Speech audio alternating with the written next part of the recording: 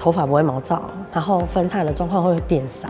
因为我头发很难吹，我每一次搞这个头发大概要一小时，所以在戴森都至少可以至少减半。头发发尾，我觉得有一点保湿的成分，会有弹性的干，也不会乱翘。对小对于小朋友来讲，它是属于安全的东西，妈妈，嗯，因为它不会把头发吸进去。真的是一分钱一分货啊！吹头发速度也比较快，这样子，头发比较柔顺，比较不会毛躁，这样。吹干之后，头发整个是很蓬松的，是它真的可以去解决掉发质上面的困扰，可以降低那个头发毛躁感的那个感觉，真的差蛮多的。音量也不会很大，所以也不会吵到小朋友在睡觉，不毛躁，就是吹干它就很顺了，就不用用梳子去吹它，它也有蓬松感。吹起来的光泽度都很够，头发的蓬松度还有卷度都是 OK 的。嗯，这是以不破坏发质的吹风机。就吹完头发后，我觉得头发很顺，然后它又有烘燥啊，就是把头发会吹得很蓬松，还有那个卷度很自然，然后还有耐摔。如果家里有小朋友的话，其实非常适合，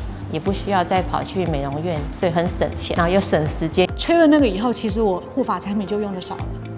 我觉得这这也是一个也是一个省钱的概念，因为我自然卷，头发真的不好吹，它还蛮值得，因为真的是时间跟钱省下来，就是帮我省时间省钱省得很有质感。